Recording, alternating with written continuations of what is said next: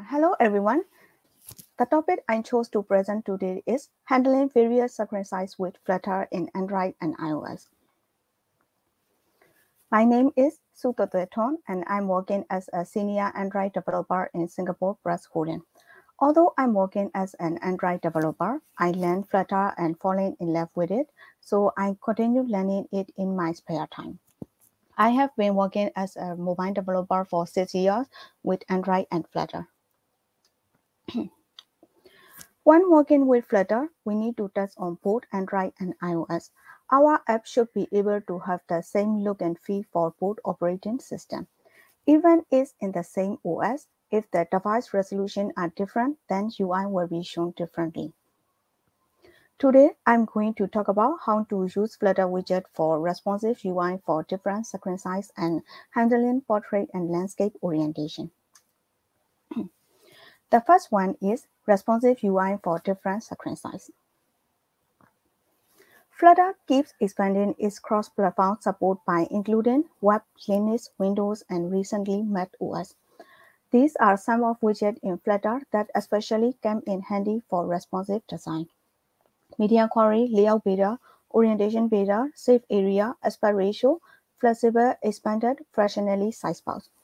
Today, I won't be explaining all of them, but I will talk about most of them which I often use in Flutter.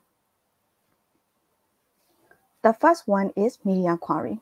Media Query is a great widget to make your app responsive across devices with different screen size. The Media Query object itself doesn't include much except the Media Query data property. The Media Query data object returns information about the app's window. In a mobile app, this would correspond to your device screen. The screen size and orientation can be obtained by accessing its property. So in this example, uh, you can see if we want the screen width, then we can call it like media query dot of context dot size dot width. If we want the screen height, then we can call media query dot height. And uh, same for the orientation, we just need to call the media dot orientation. Based on the width, height, and orientation of the devices, we can control our responsive UI. What if we want our widget to, uh, uh, to cover only half of the screen? we can do it like this. Uh, we uh, we can call the media dot size to width divided by two. Then we will get the half of the screen width. Uh, if we want the 30% of the screen width, then we can call media query dot size dot width into 0.3. This is a full code of Flutter to get this screen. So this screen has the two container the first one is the blue container, which has the 30% of screen height and 100% screen width. And another one is responsive button. so inside the first children object, we will call the media dot size dot width for the 100% screen width.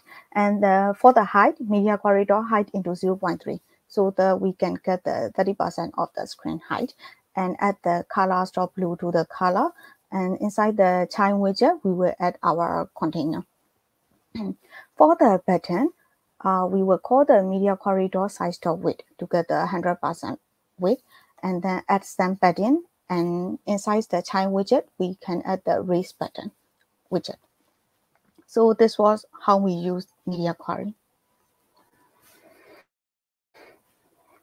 Another widget is safe area. While designing the layout of widget, we consider different type of uh, devices and they are preoccupied constraint of screen like status bar, notch, navigation bar, etc. As you can see in the photo, Safe Area makes UI dynamic and adaptive to devices component. It is basically a button widget. Internally, Safe Area uses Media Query to check the dimension of the display screen and include extra button if needed.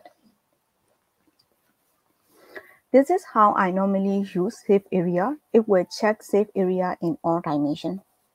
So we can simply wrap the safe area inside the body widget.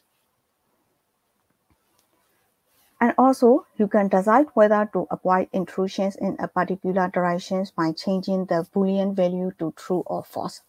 So if we don't want the left side of the safe area, then we can add the false in it. That's all for the safe area. The another widget to achieve responsive UI is fractionally sized box.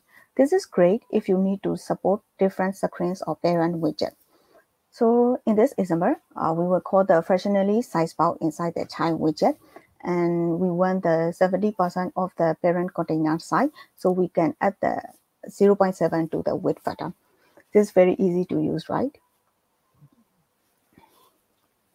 Expanded widget is a widget that expands a child inside a row or a column. So it needs to be used in uh, inside a row or a column widget to work properly. It takes up all the available space along its main axis. If all the widgets are wrapped around expanded widget inside a row or column, then space will be divided equally. Flatten widget is basically the same as the expanded widget, but uh, there is a slight difference which makes flexible widget as the name suggests flexible to use. Let's find out what is different between them. This is a normal row widget with three containers and we have the container 1, container 2 and container 3 here. I will explain how expanded and flexible are working by using this example. Expanded widget control its child's flexibility to expand and fill the available space in the main axis of a row or column. So in here, uh, for the container 1, width is 100 and the container, uh, container 3 width is 100. So for the container 2, it will expand as much as the parent size is available. Flexible widget has a flex and fit property. The difference between expanded widget and flexible widget is flexible does not require the child to fill the available space. Let's check the code to understand better.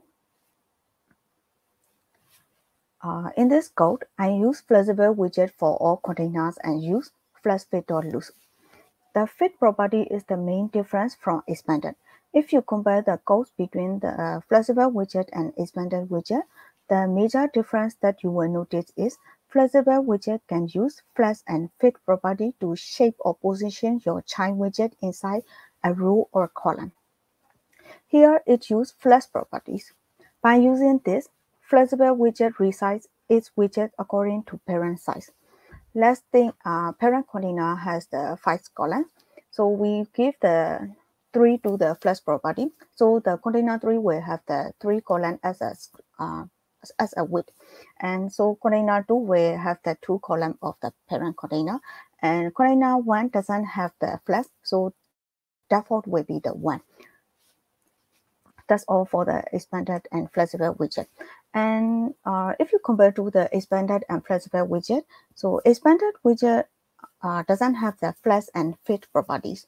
So it will divide it equally for all their children. And flexible has the fit and flex properties, so you can have the control uh, your properties under your children. The next title is Handling Portrait and Landscape Orientation. For this case, we can use orientation builder.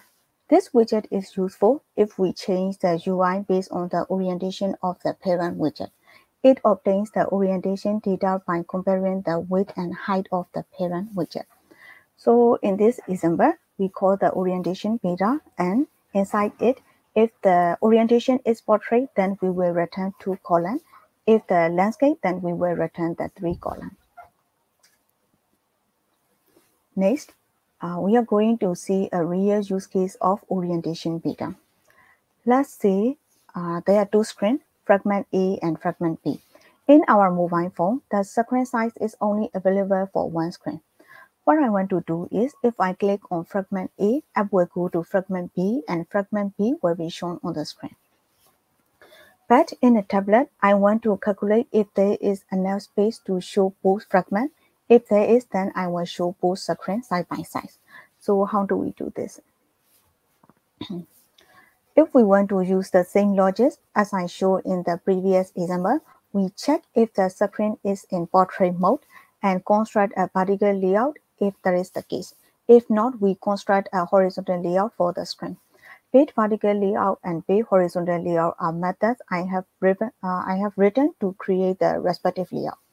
We can also check the orientation at any point in the code, inside or outside of the orientation data using orientation.portrait. And there's also an, another way to do it. All we need to do is define two widgets, one for fragment A and one for fragment B. We simply check the device has enough width to handle both widgets. If it does, we show both widgets. If not, uh, if the device does not have enough width to support both, we only show the fragment A and navigate to a separate screen to show the fragment B. We first need to check the device width. To get the width, we use media size width. The size gives us the height and width of the device in dp.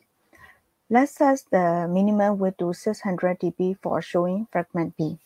If the screen is large, we add fragment B, and if it is not, we return an empty container. We use the expanded widget around it to fit the screen or divide the screen into proportions in case of a larger screen. So expanded allows each widget to fill half of the screen or even a certain percentage by setting width as we want. So this is all for my presentation and thank you so much for listening. If you have any question, I would be happy to answer. Thanks, Su. Um, I think you have a fan, uh, someone harsh on YouTube commented, "Hey Su, you go go." yeah, it's my teammate. oh, nice. Hi, Harsh. Thanks for joining us today. Um, yeah, I think we have a question. Um, asked, "What if we wrap scaffold with safe area?" Uh, scaffold has to be the first widget of the how should I have uh, first widget of the application. So you cannot use any widget above the scaffold. Yeah, then you will have the error. Yep, we hope that answer your questions. Um, and then we have a question from registration as well. So um, you mentioned that you are an Android engineer, uh, but you also learn Flutter. So uh, for all the Android developers out there, should they learn Flutter? Uh, uh, I think like yeah, I will uh, answer it from my personal experience. Mm. So uh, when I was working uh, before I learned the Flutter, so when I do my own project or something, then like I want to release to the Play Store, and then I also want to release to the App Store, right? But I don't know how to write the iOS, so uh, I learned the Flutter, and yeah, so Flutter is you just need to write one, and you can publish the two application. So I think that's great. And uh, another one is I don't recommend the Flutter for the really big project because uh, Flutter is using the uh, native library for like for example uh, camera or might using the mic or so like you want to do something but uh, there's no library for it then you have to write your own library so yeah and if you want to uh, really have to control your application like you want to control everything then flutter is not for it so you can use the like flutter for only the showing simple uh, like simple operation like showing the data or like connecting the uh, like small things, then it should be okay. So like uh, trying out things or uh, smaller projects, uh, maybe Flutter is a bit more suitable. Yeah, yeah. For normal project, Flutter uh, should be okay. Flutter is a like really wide network, so there is a, a lot of library you can choose from. But what if you want to do something there yeah. not library? Yeah, then you have to start everything over again. uh, Keith asked, um, currently um, the person is having problem with white spaces for screens that have large screen height. So new phones like Ga- Galaxy S21 Ultra, iPhone Pro Max, um, yeah, how do you handle this issue? Uh, for this one, I need more information like what kind of white spaces it means. So I will assume the saturation. Maybe the widget he wants to show is really small and the screen size is uh, so large. So it will have like more space left at the bottom. So in that kind of situation, then as uh, I show in my slide, we can use the expander. So the children widget will be expanded as much as the screen width and size, uh, width and height.